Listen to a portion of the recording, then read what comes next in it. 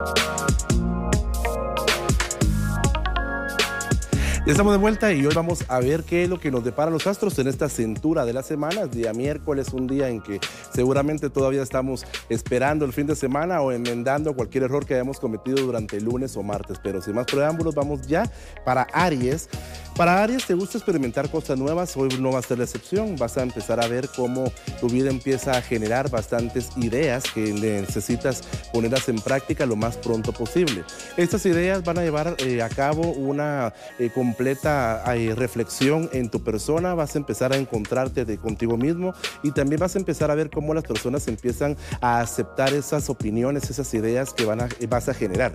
Esto te va a traer cosas completamente fructíferas porque te vas a tomar o te van a tomar en cuenta, mejor dicho, en algún tipo de empleo, trabajo, actividad o en algún tipo de reunión familiar a la que te vas a involucrar durante este día. Para Tauro, acá tienes que dejar un poco el negativismo por un lado, porque continúas como que estando un poco negativo.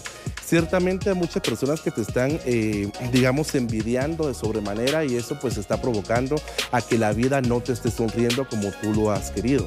En cuestiones sentimentales las cosas están bastante mal, en cuestiones laborales también vamos un poquito jalando la carreta como dicen, pero eh, tienes que pensar más en formas eh, positivas para que ese pensamiento negativo quede por completo a un lado. Hay una firma de unos documentos de mucha importancia que están a punto de llegar y también ten cuidado si te piensas endeudar porque más adelante podrías tener algún tipo de problema al no poder pagar esa deuda. Para Géminis, acá en Géminis veo que vas a empezar a tener visitas inesperadas, te vas a reencontrar con personas que hace rato no ves. Eh, tienes que controlar un poquito tu enojo porque podría ser de que por la tarde tengas algún tipo de cólera, alguna eh, persona que quiera irrumpir tu tranquilidad. Entonces toma las cosas de donde vienen y por favor no te sugestiones mucho porque a veces como que también eso te está generando que no camines tan rápido como tú siempre lo has querido hacer. Después de este mal momento por la tarde viene una tranquilidad y viene pues una concentración bastante buena para todos ustedes. Para cáncer, acá en cáncer has estado como que muy pensativo, pero también es momento de generar nuevas ideas, es momento de innovar, es momento de salir de la rutina por completo, es momento también de darse un eh, tiempo para ustedes mismos, pueden desestresarse visitando algún tipo de parque, visitando la naturaleza, tener contacto propio con la naturaleza y con la espiritualidad. Ustedes han estado acumulando una serie de bastante grandes, se les está llevando al aburrimiento, les está llevando a pensar cosas que no son, pero eso se debe al estrés. Nadie está haciendo nada en contra de ustedes, ni tampoco vienen cosas malas, porque a veces estos sentimientos, a veces uno eh, cree de que es una mala racha por la que uno está atravesando y no es así. Simplemente es el cúmulo de energía negativa que necesitan sacar mediante un esparcimiento para sus vidas. Para Leo, acá en Leo veo que se va a desatar un problema bastante fuerte dentro de tu familia. Eh, podría ser de que algún plato se quiebre o algo, necesitas meterlo inmediatamente en agua para evitar de que esto se desate en un problema bastante fuerte. Acá va a llegar una persona eh, que es ajena a tu familia, podría ser algún cuñado, cuñada, algún vecino incluso, que te pueda llegar a hacer algún tipo de problema o meterte en algún chisme eh, dentro de tu casa. Así que está alerta porque eso sí no está bastante bien para los nacidos en Leo.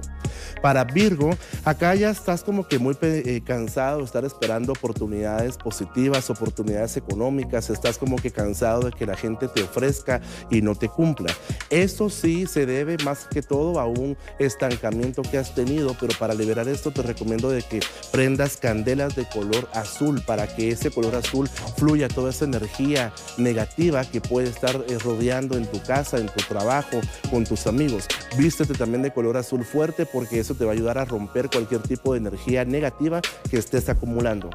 Para Libra, acá en Libra me parece que vas a estar bastante dadivoso, eh, me parece que muchas personas ya saben de que pueden acercarse a tu persona con el afán de que tú les regales o les prestes dinero o les hagas algún tipo de favor. Sí es bueno que sigas eh, así de esta manera porque más adelante pues podrías necesitar tú y vas a tener las puertas abiertas por completo para que pidas los favores que necesitas.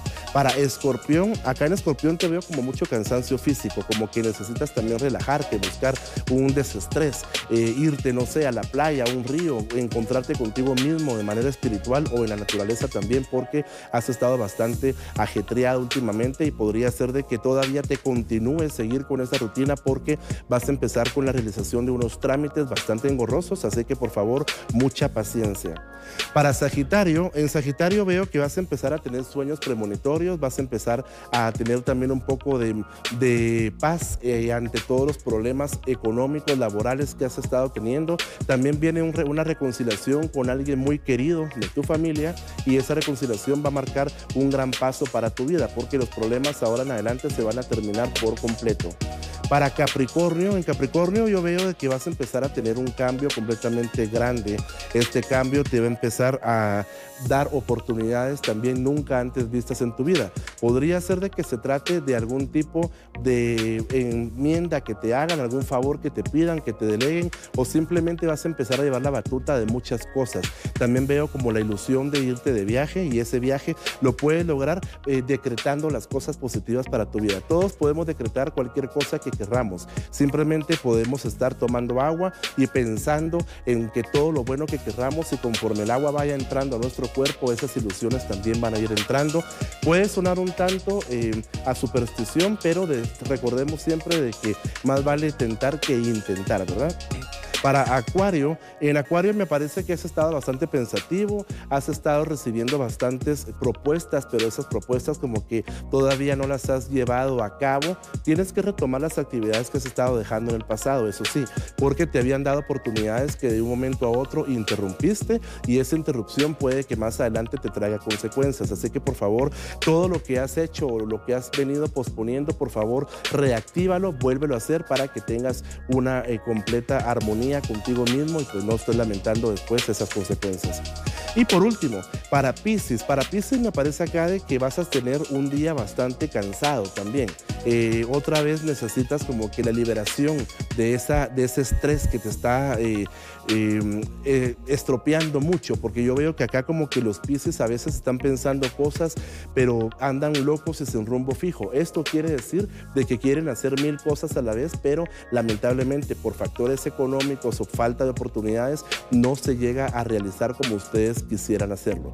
Viene un cambio completamente grande para todos los nacidos en Pisces, en lo económico, en lo sentimental y en lo laboral. Así que por favor, Pisces, quiten, quítense eso de la cabeza de que están haciendo las cosas mal y ustedes se van a dar cuenta cómo todo va a empezar a fluir de una forma completamente grande. Estas han sido las recomendaciones astrales para este día miércoles. Recordemos de que mañana en Guatemística vamos a tocar un tema bastante interesante. Vamos a aprender sobre la forma de cómo curar una mala racha, una forma de curar la brujería con huevos, con hierbas, todo lo autóctono que Guatemala tiene y que mañana lo vamos a compartir con todos ustedes.